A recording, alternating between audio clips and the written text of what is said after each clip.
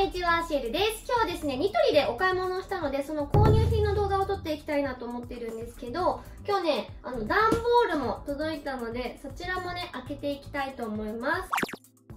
ここがあの DVD のコレクション部屋なんですけど、その部屋のカーテンと、あと寝室のカーテンも買ったので、今日はそちらもね、あの、お見せしていきたいと思います。まあ、そのね、カーテンがこの箱に入って今日届いたんですけど、今までもニトリでカーテン買ってたんですけど、いつもはなんかもうサイズ決まってるやつ、もうその日のうちに持ち帰れるよみたいなものを使ってたんですけど、まあ、今回、あの、新しくちゃんと窓にあったタイプのものを買おうと思って、このカーテン用のこのメジャーを使ってちゃんと採寸してオーダーしてきましたはいちょっとめんどくさかったねだから。はい。まあ引きずってもまあちょっとうちでもいいかなみたいな感じで思うんだけど、まあ、今回はちょっとちゃんとしようと思ってはい。買ってきました。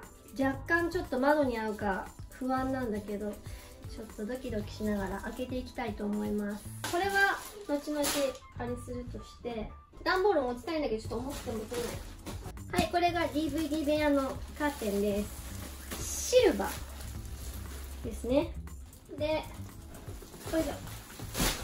はい。でこの花柄のものが寝室のカーテンです。どちらもなんかグレーっぽいものを選んだね。うん。結構グレーとか白系を選びがち。あの色味のものに挑戦できないタイプですね。はい。ということでこれサイズが合うかちょっとドキドキしながらカーテンをつけてみたいと思います。なんかニトリのカーテンコーナーでジャンル別みたいに分かれてて確かこれエレガンスっぽいコーナーに置いてあったカーテンだと思うんだけど DVD 部屋のシルバーっぽいやつが27,143円。で、えっと、寝室の方が21,429円。はいということでカーテンでだいたい5万円ぐらいかかりました。素材がちょっと高級感ある方がいいなと思ったら結局なんか思ったより高くなっちゃいました。その他もろもろ買ったのがタオル。はい同じ柄のタオルでウォッシュタオルとフェイスタオルとバスタオル。かな？はい。こちらも購入しました。グレー選びがちな女ですね。はい。あとはキッチンクロス。はい。今ちょっと開けてみたんですけどすっごいしっかりしてる布が。昔買ったねカーテンの時にねこのひだをね金額安くするためにあの少なめにしたらなんかすごいモワーンってこうカーテンが広がっちゃったから今回このヒダを何？2倍とかいうやつ多めのやつにしてもらいました。でめっちゃ重い。こちらが寝室のカーテンです。はいこちらも取り付けていきたいと思います。遮光っていうのかな光が入んないように。はいだからやっぱしっかりしてます。はいこちらのカーテンを止めるやつもついてました。なんか使わない気がするけど。あれだな三脚いるな。はい取り付け完了しました。まずはこちら寝室の方ですね。これ長さってどうなんですかね？1センチぐらい空いてる感じがあるんですけど高さ的にはぴったりかな。はいということでこちらベッドの横なんですけどもこんな感じでカーテンがつきました。下ってどれぐらいいたらいいものなのかがちょっとわからない。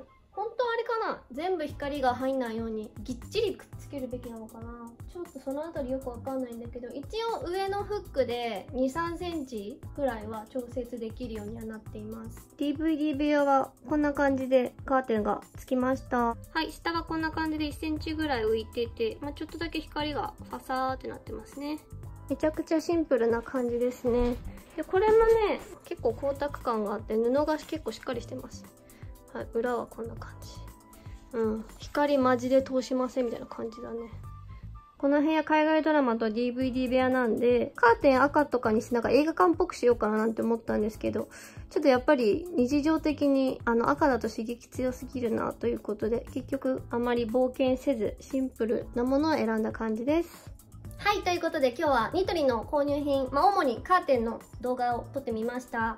うん、カーテン選びとかいつも悩むんですけど私の中でなんかあんまり派手な色挑戦する勇気なくて結局白とかグレーとかのカーテンから選んだんですけどやっぱカーテン適当にこう採寸していっちゃダメですね。ちゃんとやっぱきっちり測っていかないと。あの当たり前の話なのかもしれないですけど私みたいに結構大雑把だとまあこんなもんだろみたいな感じでアバウトでさっきのあのカーテン用のメジャーあれちゃんと引っ掛けて高さを見たりとか横幅の動かないところからこう引っ掛けてちゃんときっちし何センチっていう感じで測って、まあ、それでぴったり合わせた感じでオーダーするというカーテンはちゃんと測って作ろうということをね学びました。一応ねどちらもそのエレガントシリーズみたいな感じで布地がしっかりしてる感じでで見た目も結構光沢感があるのでちょっと高級そうに見えるなと思います、うん、で最初ね、あのー、シルバーの方なんかグレーで探してた時にまあ言っちゃうと安い生地のもあったんですよいっぱい。